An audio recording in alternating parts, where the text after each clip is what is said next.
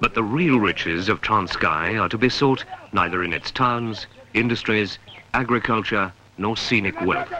The mother lode is in the people, in the new generation being groomed throughout Transkei to become tomorrow's leaders.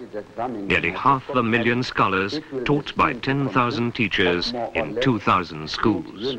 At the college for the sons of chiefs, headmen and councillors, Jongilizwe, sons of hereditary chiefs and headmen learn to become leaders in their own right. Yes? Living organisms grow. Schools and colleges teach academic and commercial subjects.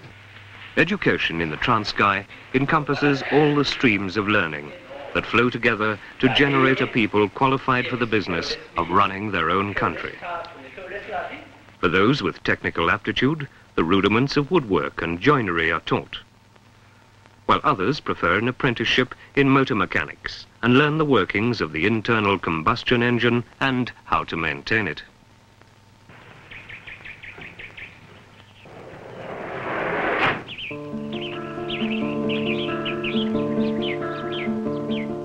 But of what virtue is education if it cannot be shared by the handicapped, the crippled, the blind and deaf? In caring for its physically disabled, Transkei has set standards that other developing nations can envy.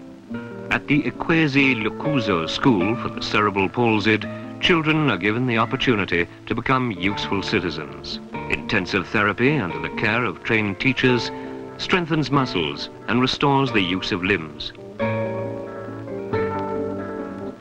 While those able to work are trained to become skilled potters, tailors or even carpenters.